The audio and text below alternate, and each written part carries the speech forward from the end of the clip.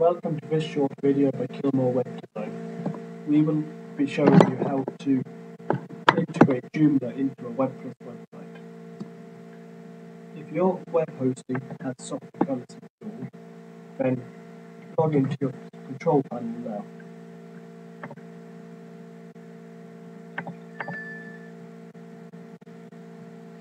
Scroll down to the bottom and click Colors App Installer. Auto Installer. left hand side, you see portal forward slash CMS. Click on that and then click on Joomla. Click the install button and select settings as you want.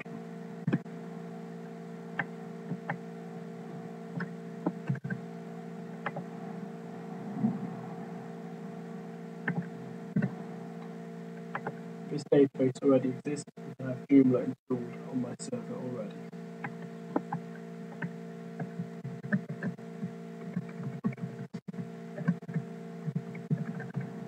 Name your site uh, whatever you want to call it and describe it as well, however you want to call it.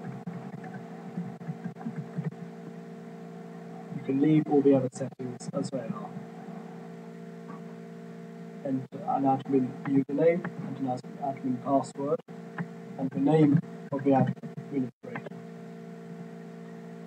Click the language you wish to install it in, which for me is English, and then click install.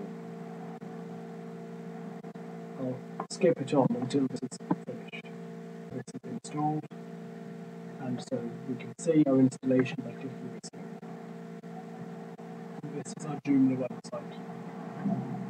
Now, if you do not have Joomla installed, or soft colors installed on your server, you have go to the Joomla website to install it, as I will show you now.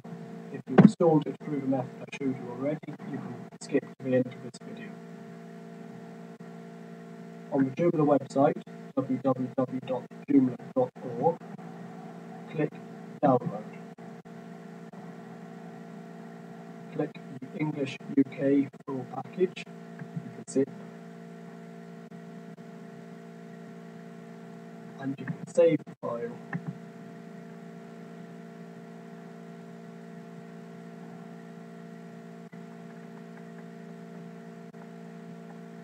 when the file has downloaded, you can find the file location.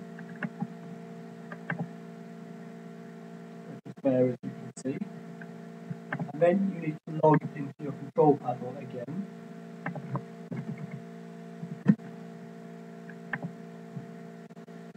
Go to the file manager.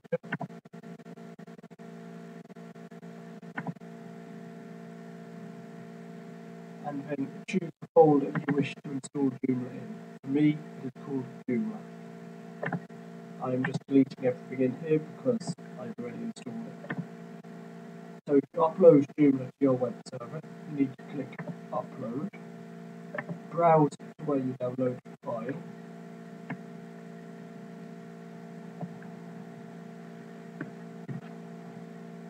which your Downloads folder.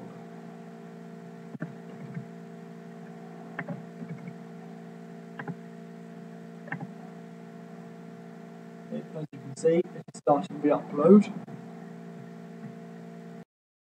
The upload is now complete, so you can now go back to the file manager in the control panel and reload it. You can see the Joomla has been uploaded, but it is still a zip file. Right click and click extract. And you can extract into the same folder because you set a folder special for Joomla. Now if you reload it again, you can see everything. Now you can delete the zip folder because you don't need this anymore. Now if you go to your website, in the folder that you just created, then you should start the installation process. For me, just kilmorewebdesign.com forward slash Joomla. Go into the installation folder. Select the language you wish to install, which is English, and then click Next up in the top right corner. Now I don't have JSON support enabled on my server, but that doesn't matter, it just means I have to upload a file to my server at the end. So you can just click next, and next again, just make sure you read and accept the license. Now you need to set up your MySQL database. Go back to your control panel and go into the MySQL database section. Create a folder, which you can choose whatever you like. I'll call mine Joomla 1. So I can't, I've already used Joomla 1 before, so I'll call mine Joomla tutorial and create the database. Now you need to add a user to the database. So click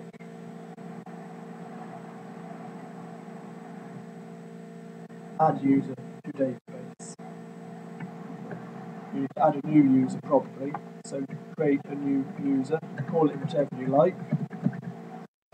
Create a password and retype your password. Create the user. It says the username cannot be longer than seven characters, so I will just call my username.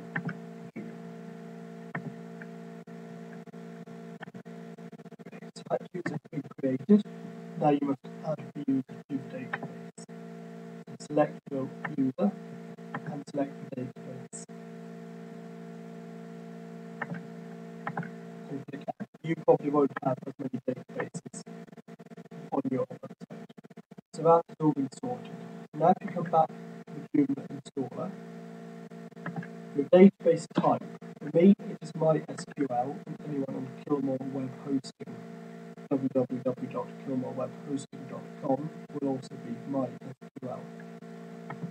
possible though your server could be MySQLi. Contact your hosting provider if you don't know which you which you use. Username you can find on this you have created. For me, it was Kilmore W.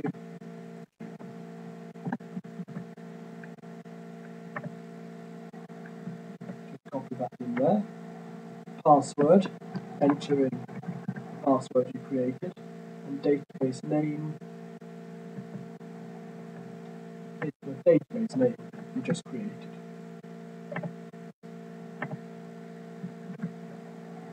Take a prefix, you can leave that for the default setting. And then just click next. Now we should begin the installation process. Now it's done.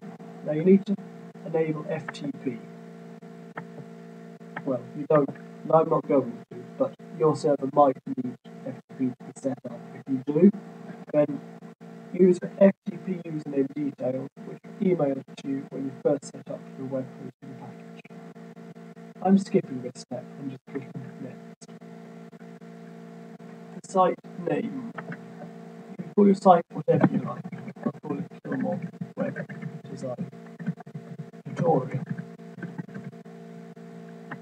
email the email of the account, sales at kilmorewebdesign.com.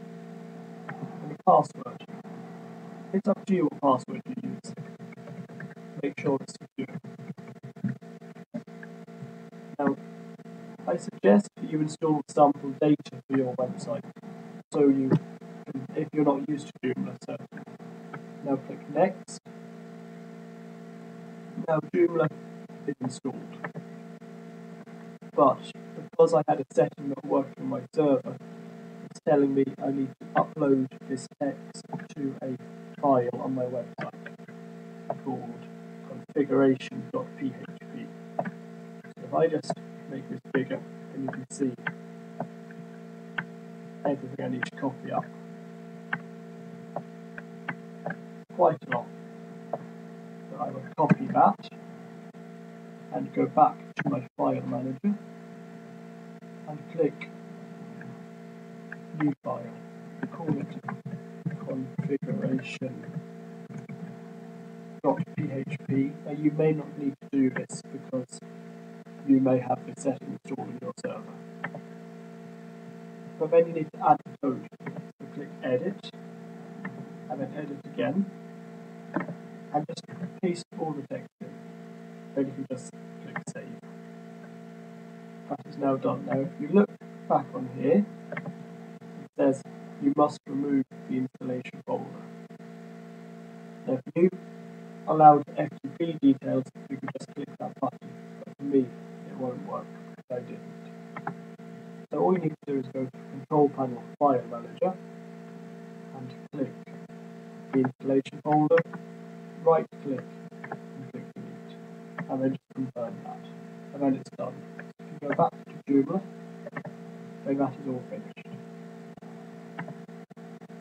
So now Joomla is installed on your system. I will now move on to video number two, which will teach you how to integrate Joomla into WebPlus. Thank you for watching this video. Um, and be sure to visit Kilmore Web Design, www.kilmorewebdesign.com, or Kilmore Web Hosting, www.kilmorewebhosting.com. Thank you.